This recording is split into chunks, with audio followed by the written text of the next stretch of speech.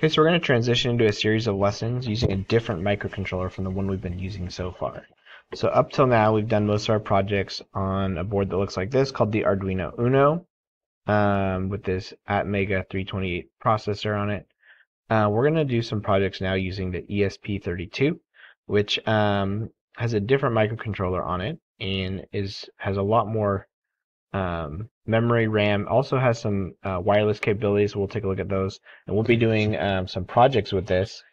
Um, and to get started, I just want to kind of talk about like why you might use this board over this one, and then also just to understand that even while we're going switching from this one to this one, there's kind of thousands of options out there. So even just in the simulator walkthrough that we use, you can see they have. Um, if you look at this list right here, there's maybe 20 or so 30 maybe boards on here. If we go to Platform IO um, and we make a new project here, there's going to be a, probably hundreds of options for different boards. Um, so yeah, let's pull this up. Yeah, so it looks like they have 1,500 different boards on here. And a lot of these are ones that have the same processor, different variations with the same processor. But a lot of these have their own. And you'll see that even a lot of these have ESP32s on them um, these options in here. And so um, there's lots of different kinds of boards, different kinds of microcontrollers, and um, this is one that's pretty popular that we're going to look at today, and we'll kind of look at why we might use this versus the Arduino and stuff like that. Uh, before we do that, though, actually, yeah, and so let's do a little comparison here. And so um, the processor on the Arduino, this thing's probably about maybe 20 years old at this point. I'm not sure exactly, maybe more than that.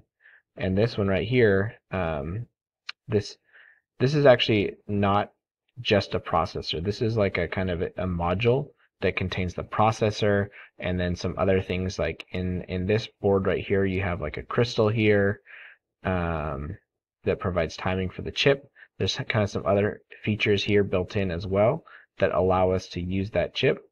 Um, such as like a, uh, yeah. Well, so anyway, there's those features built in.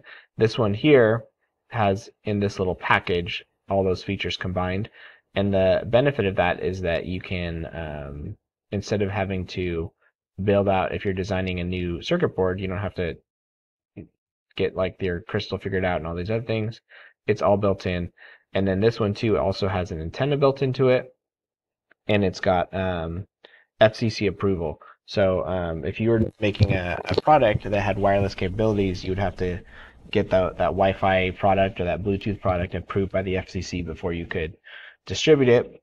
Um, and here you have that approval already done, at least for this part. There's other types of approval you need to get if you're going to manufacture something, but at least you have that part of it done if you use one of those modules. And so that's another benefit there. Um, but coming down to comparison, um, a couple things. First of all, this processor here um, has uses ARM, um, so it's got an ARM processor inside, whereas this one has an Xtensa processor inside. It's got two processors instead of just one. Um, and some of the other key features here is that we have a whole lot more uh, RAM, or sorry, flash. And so um, here we have 32 kilobytes of flash, and here we have 4 megabytes. And so this is maybe about a hundred times as much, a little more than a hundred times as much. And there's two reasons for that. One reason is when you're using Wi-Fi and Bluetooth, the uh, um, the size of the code that you have to put on the device is a little, is a lot bigger, and so you need that extra space. But additionally, let's say you were going to build a device that could you could update remotely using um, uh, what kind of setup you have with your server and everything. You can send firmware to the device over the internet, over Bluetooth, and there's you can basically divide this memory up so that you can have basically two slots of memory for each of the two partitions, and then you can update to one. Um, so you can save that into there, and then it'll like kind of switch the other one. And so having that extra memory allows that. Additionally, we have um, 520 kilobytes of RAM compared to the two kilobytes on the um, the Uno that we've been using, and so we were doing a Space Invaders game. We ran into some trouble with memory with that two kilobytes. Um, you can see here we've got 260 times as much memory here, so that wouldn't be an issue in that case. a lot faster clock speed, which means it can do faster processing. Kind of an important thing here is that the um, the volt it runs at 3.3 volts instead of 5 volts, which means that when we're connecting to these pins, they cannot. Uh, if you were to connect 5 volts, then you could damage them. And so one thing we got to be careful with this board is we don't want to connect this VN accidentally to any of these other pins because you will uh, do some damage to the board. Um, but those are the key things. Some other features, again, it has um, the Wi-Fi and the Bluetooth. It's got some touch sensors, which are kind of fun. We'll mess around with those a little bit. And additionally, that's not on here is it has um, uh, a couple things. Got I2S, which is for um, a type of communication used for sound, and then it's also or audio, I guess, and it's also got um, a digital analog converter, which is pretty fun as well. And we'll take a look at that too. Okay, so those are just kind of some of the capabilities. And then one of the key differences here that we mentioned is that we have a different kind of processor in here. And um, when if you are using a board that's based on an ARM processor, you're basically licensing that technology um, so that you can build your board on it. Um, and this is a, essentially different technology that you're using. And so from our kind of surface level use of this, it's not going to matter. But um, if we look at what happens when we run our code, um, Arduino takes that C code right here and it turns it into assembly, which is in these kind of like instructions here, and then later it's going to turn that into uh, binary. And so you can see for Xtensa versus ARM, the process of running this code where we're just going to print this hello world statement, you can see that it looks a little bit different based on the number of instructions that it generates, as well as uh, as well as the um, actually not here the um, the actual instructions. Right, we have different instructions for Xtensa than we do for ARM. Um, and this is just going on in the background. And this is one of the reasons why working with these things can get really complicated because if I have something that runs on an ARM platform and I run on an Xtensa platform, I have to install a whole bunch of tools in order to generate the code for this platform if I've been working with this one. And that's one of the reasons why using Arduino is so beneficial because it allows us to basically jump from one to the other without having to um, spend hours installing and, and troubleshooting the tool chain in order to compile that code for the different board. And so I'll show you. Um, and so the Arduino kind of ecosystem lets me run this code here, this exact same code with no modifications on my uh, dev, like my ESP32 dev board or my Arduino Uno. All I would do, you know, I just press the little arrow, it runs it, and it works. Um, and so this is a very useful kind of um, this is why this tool is so popular because essentially it's saving us hours of time, gets us up and running right away, and we don't have to worry about it. Um, and so what we're going to do now is we're going to look at if we wanted to run ESP32 on here, what we need to do. And so in this in the um, older version of IDE, it's not installed automatically. Maybe this one it is. But if you want to run code on the ESP32, what we need to do is um, there's this kind of getting started here, talks about the different boards, talks about Arduino. Um, there's a first step section here. This is kind of their main kind of page on how to use this stuff. But if we look at the first steps, uh, how to install. So this is a guide for installing it. Basically, there's a link here that downloads all the board information for Arduino. We want to copy that and we want to paste it. If we go to um, preferences here, and then here we have additional board managers URLs. We've got this one here. There's a comma. I've got another one. And then you can say add that one. So I'm just going to do comma and you could paste it in like that. Okay. Then you press OK and then I'll be on there. Um, once that's done, if you look over here in the boards manager, you'll see him here. And then you want to find the one for um, let's see, we want ESP32 by Espressif Systems, and then we're going to press, there should be um, an install button there for you if it doesn't pop up. It looks like this is taking a bunch of space here.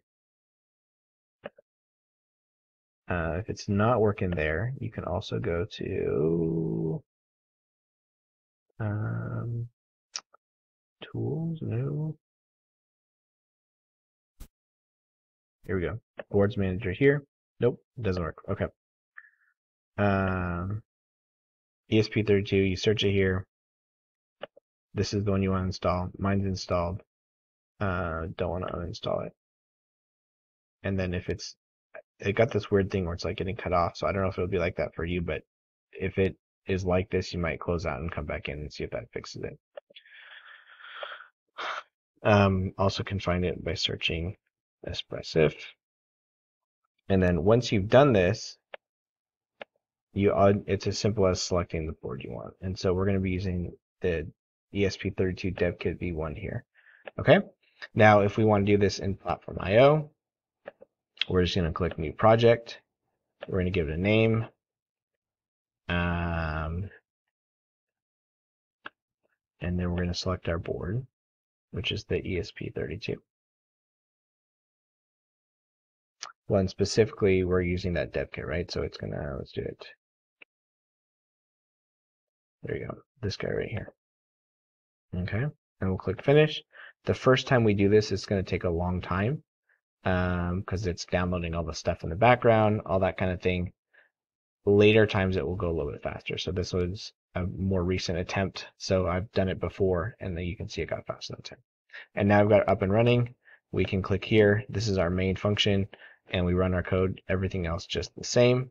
We do want to set the, um, we'll do some tweaks here, uh, but otherwise we'll be in pretty good shape to run our code. Okay, so we're going to just do a basic kind of getting started example here where we make it blink, an LED. Now just a note that the ones, the boards that we're using, um, the, the DOIT Dev Kit that I've been referencing um, has a different pinout than the one that you see here. And so we'll try to make sure we're aware what's going on. But basically for this, all we're going to do is we're going to add an LED and a resistor, an LED.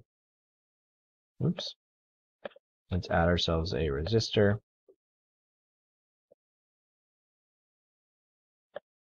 And we're going to make this one be, um, we'll go 330 Okay. We're going to flip this guy. Okay. And we're going to connect it to pin 23, which is actually the last one on the uh, on this side of the board. So here we have a ground next to it. We don't actually have that. On our board, the ground is down here. And there's also a ground over on this side here. We're going to use this other ground there, but you need to find ground and connect it. And then we're just going to do a basic blink. So we're going to say um, pin mode. 23 and we'll select output. And then we're going to do a digital write.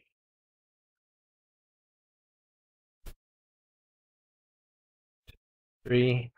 And we'll set it to high.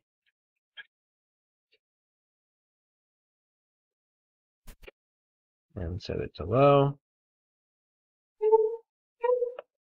No, ourselves some delays. We'll put this one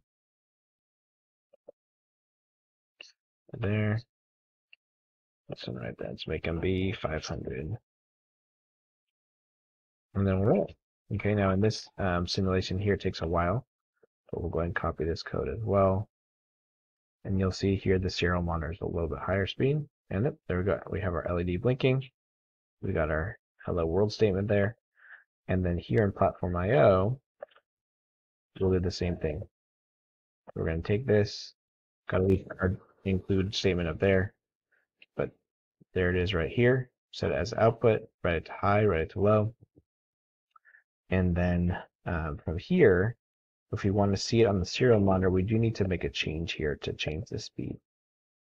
So here we're going to go ahead and say monitor speed and we're going to set that to 115200 and that will allow us to go a little bit faster here and use this faster baud rate. And we can add a print statement here to serial dot print ln hello run it. Okay. Okay, so we're going to click the arrow to run, perform our upload here. And so we got all kinds of stuff here. You'll notice that some things are different here from the uh, when you're running the Arduino board. And this is just due to being a different board. And so it needs to do some different things in the background to make it work. And go to built, it's connecting, and it runs it. Now writing it. And we're all done. So we click on our serial monitor button. And now we see our print statement there. And you should see it blinking if you got it connected on the pin 23 there with your LED. Okay, that's a good start here. Up next, we'll start to look at kind of some working with the wireless. Um, and then later, we'll also take some time to look at the um, the touch pins as well as the um, the DAC, the digital analog converter.